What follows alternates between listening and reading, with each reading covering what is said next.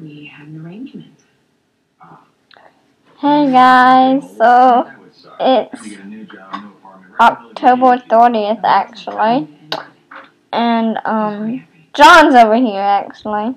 CS3 tutorials 001. Um, I was looking at him, sorry. He's looking really weird, but whatever. He's making faces. Alright, so um, let me get to my what I did today video without him distracting me. Um, so stop.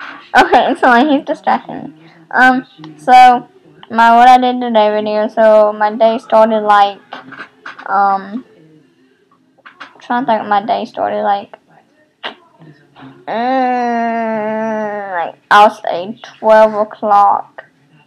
John came over about what time did he come up? Like two. So he came over about two, so I had like two hours by myself, I guess. And um, hmm, when he came over, he played some um of his Need for Speed Most Wanted game, and uh, huh. I'll have some up soon, actually, because I'm to play some. and he's acting very weird. But yeah, that was like...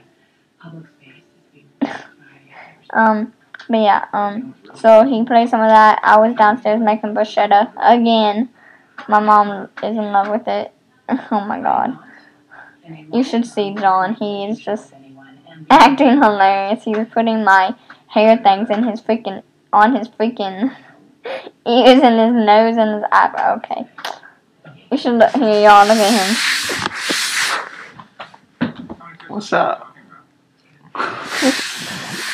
So he's acting kind of, he's acting goofy. But yeah, um, so he came over, we did that. I made bruschetta, he played his game. Um, We did. Then I fell asleep and he has it on his eyelids. Oh my god. Then we watched some The Glades.